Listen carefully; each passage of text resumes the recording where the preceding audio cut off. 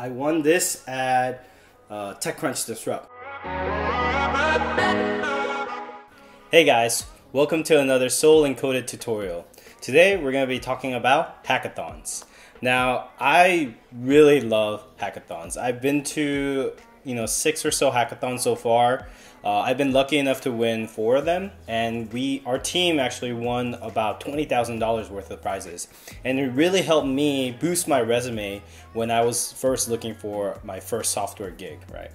So today we're gonna talk about the five tips that I have so that you guys can win your very first hackathon. Tip number one: Don't be afraid. The number one mistake that people make when they are thinking about going to hackathons is that they're too afraid to even go, right? A lot of uh, new developers, they may think, hey, you know what? I'm not very good yet. I barely know how to make a website, you know? Very simple things like that. But I'm here to tell you that your odds are actually a lot higher than you might think. So the number one reason why you shouldn't be afraid is the competition? So what are the types of people, I mean, who are the types of people that attend hackathons? Let's kind of run through them. This is what I've seen personally. Number one, new developers who wants to get a sense of making something or trying to improve their resume, right? Some someone who are looking for that next uh, resume booster, right? A new developer, a junior level developer. Uh, number two, a seasoned hacker, someone who likes to hack on things on the side, who likes to go to hackathons to have fun, uh, people like that. Uh, there's also developers who, uh, professional developers.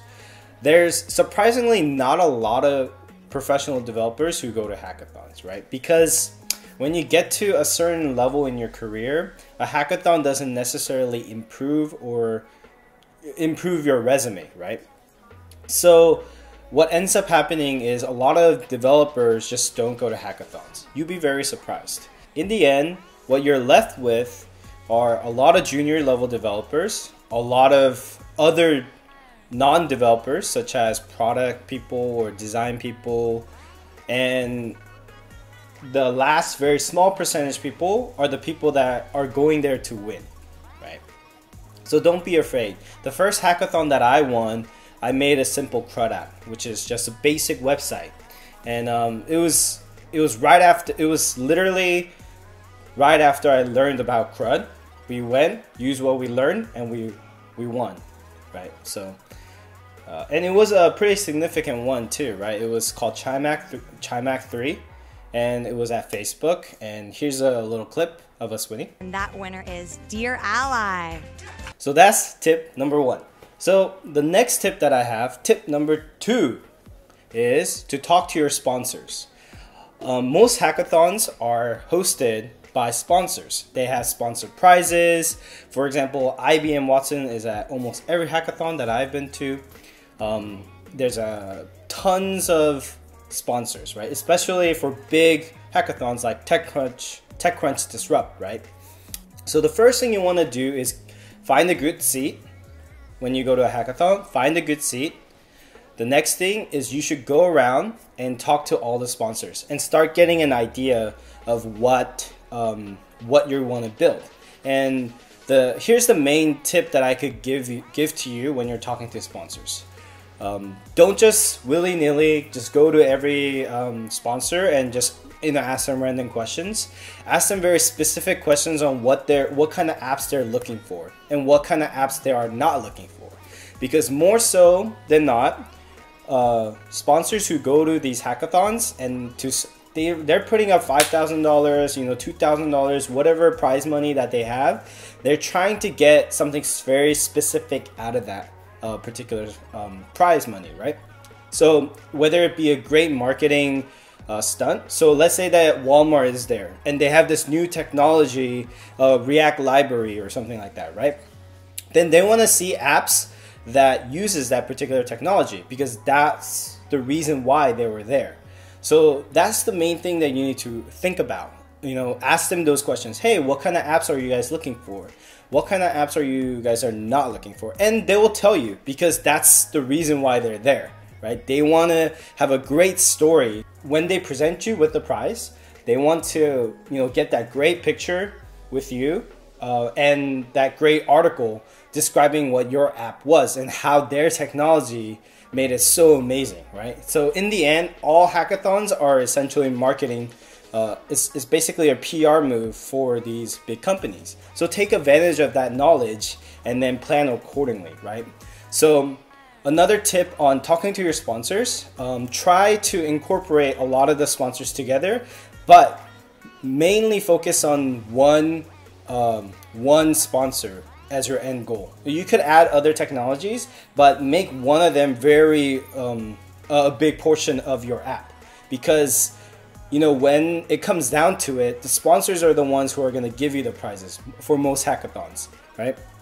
So they're going to choose the one uh, app that uses their technology the most, and their technology is the centerpiece of that particular application. Tip number three is go with the team. Now, there's some people who are amazing programmers and they could go to these hackathons and win all the prizes by themselves, right? But number one, that's not very fun. Number two, it's a lot harder for you to do that unless you're already a seasoned developer. So you need a product and design guy, you need a front end guy, and finally you need a back end guy. I feel like that's the most minimum. You could kind of get away with just having one front end guy. I would say the front end person, eh, a front end developer is more important for hackathons than back end developers. Mainly because when you're giving a presentation to the judges, what they will see is essentially just views, UI stuff, right? And you just explain to them that certain things in the back end is happening. Of course, when they're judging, some judges actually look at the code base, but that I believe is more rare than not. But again, that doesn't mean that you can just skip all the APIs because you need to understand how they work, right? And that's where the backend guy comes into play. They need to actually hit the APIs that they're saying that they're hitting and actually understanding the limitations of the technology, right? Because then you might say something that doesn't make sense and it will bite you in the butt, right? And they could always go in and check your code base and then that's no fun explaining to them that like, hey, we actually we actually didn't use any of your stuff, right? But you know what? The most important uh, thing about the team is that you understand exactly what your team is good at, right? For example, um, I could be good at front end and back end, right? But let's say that I'm way better at front end. And I have another friend who is good at back end and he has some design skills, right? And when we come together and we start working on a project, I can trust um, him to get a certain portion done at a certain time. And the thing about hackathons is that you don't have a lot of time. Most hackathons are two days long, right?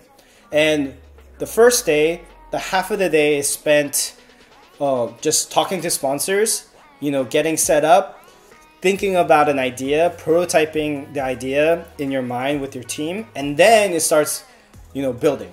So you really only have a day or a day and a half to get all of the pieces together and ready. And not only that, you have to work on a presentation. So someone needs to work on that as well.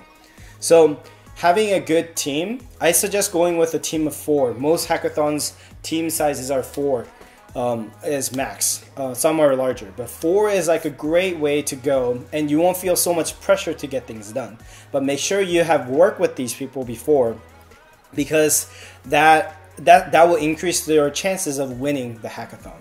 Of course, you could go and have fun. If you if that's your goal, then that's by all means just go with anyone or go and just find people to work with. But if you're trying to win, go with the team that you know that can get certain pieces of work done. All right, now tip number four.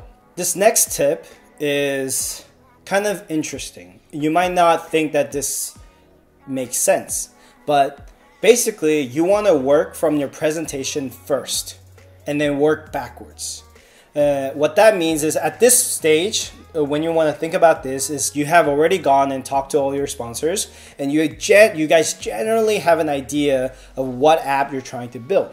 It can be really daunting to get started, right? So, and you don't have a lot of time at hackathons. Like I mentioned, you only have almost a day or and day and a half worth of time to code, right? And that that time goes by very quickly. So what you really want to do is look at uh, sketch up the views that you want to see and work on the presentation first. You know, so on a sketch pad or notepad or whatever, just draw some squares. If you're making an iOS app, you know, just draw quick squares and then do a rough outline of your presentation. You could say something like, oh, on this view, we're gonna have um, a user swipe left to right for the particular food. And then uh, later on, the user will see on this view and so on and so on. And also, minor tip, but don't build a login page. You don't need to build a login page. That is assumed. And most people, some people waste time building the login page. So don't build a login page. But yeah, so build out all of your, uh, just mentally build out all of your views that you want to see and create a happy path, right? Because in the presentation, the presentations are usually two minutes. Think about that. Like try to explain. Uh, so in the presentation, right, you have to also describe. Um, you have to describe the app. You have to show the app. You, you also have to say what technologies use you use in the app. So there's so many things that you need to worry about, right? So two minutes goes by so quickly, and there's always this like kind of every time I gave a presentation, there was some technical issue, and I lost 30 seconds. So it has to be very quick. So and try to maximize for that two minutes. And because it's two minutes, you'll understand what features needs to get cut out. You know, if there's a feature that's amazing, but you can't present it, then it's not worth building, right? So think about that very carefully. So find your presentation, work from your presentation first, and then build your app based on that. Now, the most important tip, tip number five. I feel that this is probably the biggest factor when it comes to whether or not you will win the hackathon or not, right? Your team will win the hackathon or not. And that is knowing how to crunch. What I mean by that is that when it comes down to it, the hardest time at a hackathon is that point from midnight till the next day around like 8 a.m., right? Because the first day, like I mentioned, half the day is just kind of gone with getting, you know, introductions, you know, opening seminar, uh, opening ceremonies, people coming in and out. Like it gets, you know, and you're prototyping your idea, so you don't really get to code really, right? And you're you also don't understand what your product is gonna be, your prototype's gonna be. So, but the thing is, around midnight, that first night, that's when you know exactly what you need to build. And that's the time that's the most important time when you start when you need to start coding and cranking out code. I'm not saying like you have to spend the whole night up but you know every hackathon that i've won and i've been to i ended up staying up the whole night. I mean it's kind of fun but at the same time like it's one of those it's that differentiating factor right? Um, when i when in the in the first tip i said don't be afraid right so why is that? Because a lot of these developers who are professionals already they won't have the same drive and motivations as you who are starting out to want to really win it right? Because they don't have to win it.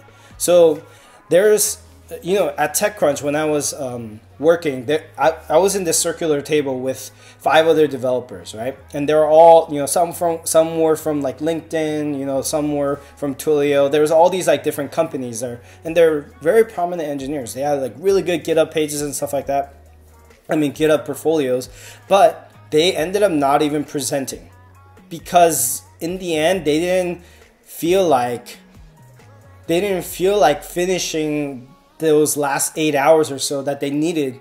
You know, they didn't want to stay up those like eight hours or so to finish their app, right? They had an interesting idea, but they just didn't want to crunch because it wasn't worth it to them, right? But I hope it's worth it for you because let me tell you, a hackathon is probably the best way to boost your resume if you don't have a technical background because it's something physical you could show to your uh, it's basically a portfolio piece a very simple portfolio piece that you could show potential employees. And it's a great way for people who are um, looking for a way in to boost up their resume right? So knowing how to crunch is very important. Also your app doesn't really look amazing until those final hours when you're kind of crunched for time and then you're putting things together. And then it, for some reason at the very end, near the end, it looks it looks awesome. And that's that was the way for me for every app that I made. So that's it. There you have it. My five tips on winning your first hackathon. You know, you should really go for it. Um, that's the number one thing I can say. And finally, one tip: don't cheat. You know, there's people who make their apps way before. Don't ruin it. Thanks.